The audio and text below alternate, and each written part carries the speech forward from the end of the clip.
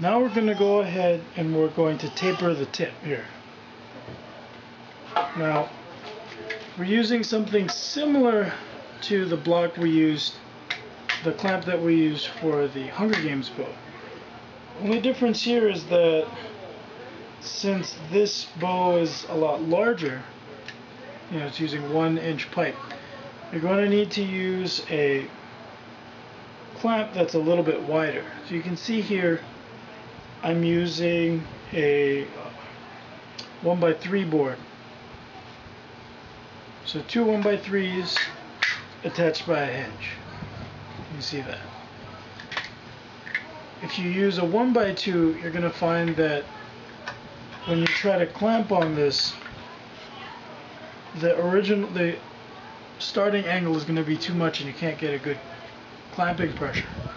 So this will allow you to clamp this and we're going to be going from about, I'd say about half an inch or so from the end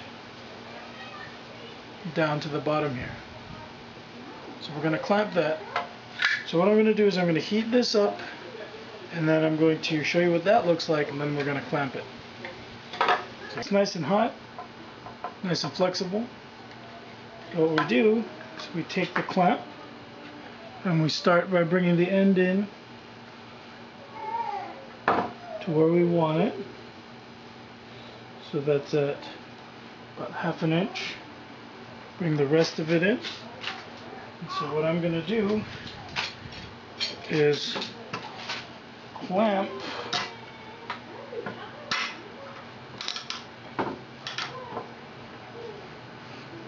I'm going to clamp the jig directly to the board here. That will give me extra leverage.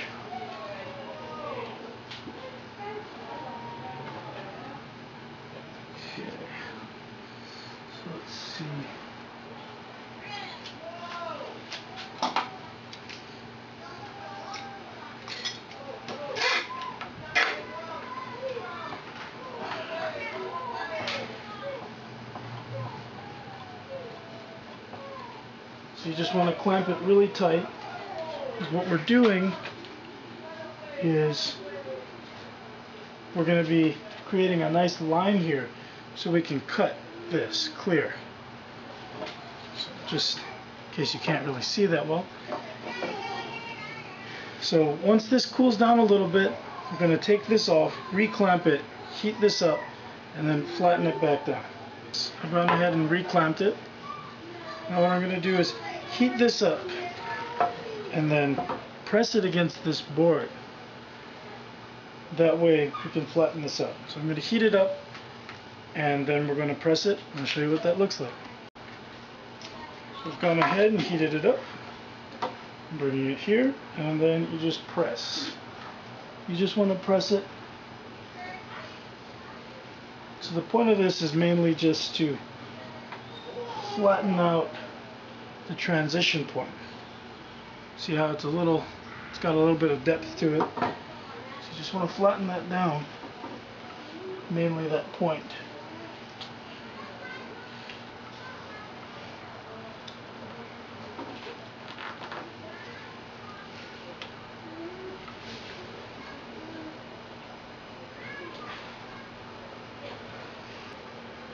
Alright, so it's pretty much set now, if you can see.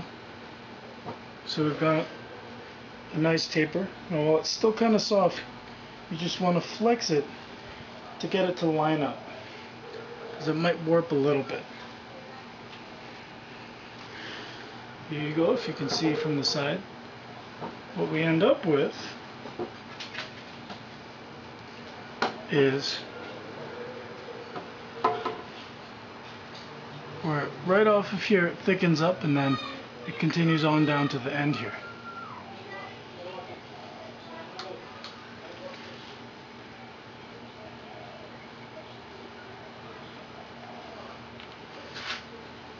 Alright, so I'm just going to let this cool.